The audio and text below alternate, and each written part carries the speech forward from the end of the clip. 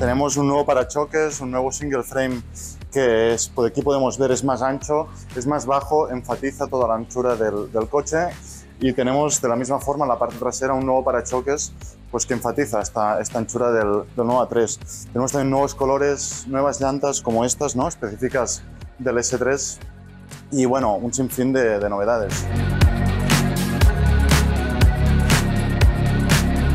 Si hablamos del S3 en concreto, eh, tenemos un nuevo motor con una nueva puesta a punto, una nueva sonoridad que la verdad es que es muy deportiva y emocional, mucho más que en la, que en la anterior generación.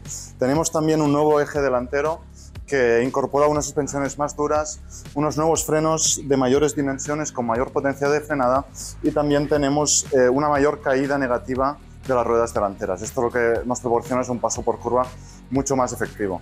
Y si vamos al eje trasero, también tenemos un nuevo diferencial al que llamamos Torque Splitter y que sustituye al diferencial que teníamos hasta la fecha, el diferencial Haldex, que desde el 1999 había incorporado la gama S3 y que ahora reemplazamos por este Torque Splitter que es capaz de eh, llevar todo el par motor a una de las dos ruedas ¿no? del, del, eje trasero. Eh, en concreto, se lleva siempre más par a la rueda exterior de la curva que se esté haciendo y esto lo que proporciona es un paso por curva mucho más efectivo. Si sumamos este diferencial ¿no? que nos ayuda a girar con el par motor con este nuevo eje delantero, tenemos un S3 que la verdad es que es mucho más dinámico.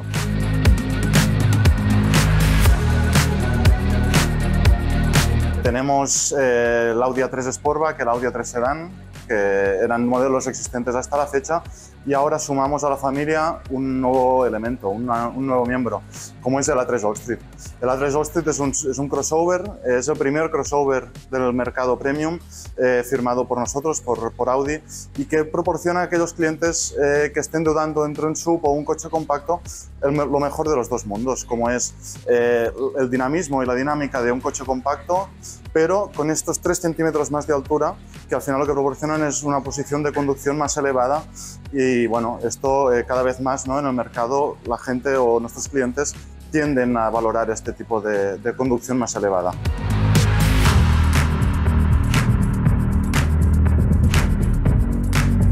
el Audi A3, su principal eh, motivo de venta, ¿no? El, nuestros clientes lo que nos dicen es que lo que valoran más es su diseño, especialmente el diseño interior. Entonces, hemos mantenido ¿no? un poco lo que ya funcionaba, pero lo hemos perfeccionado. Mantenemos esta estructura de elementos en tres dimensiones, ¿no?